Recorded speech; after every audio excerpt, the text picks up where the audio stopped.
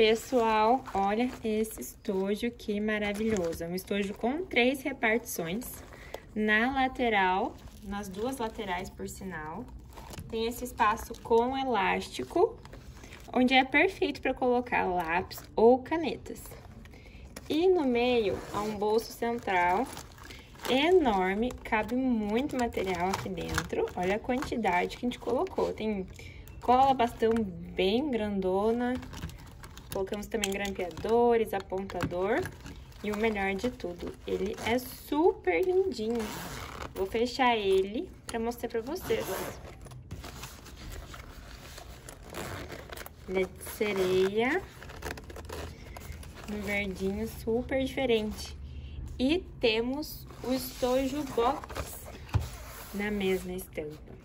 Ele também tem elastiquinho, onde dá para colocar canetas e lápis.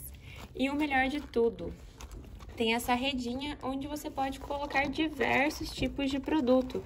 Dá pra colocar tesoura, bloquinho adesivo. A gente colocou até uma caderneta para ver quão grande é.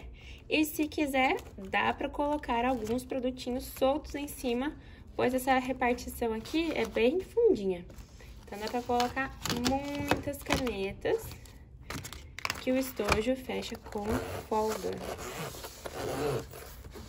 E ele é maravilhoso, não é mesmo?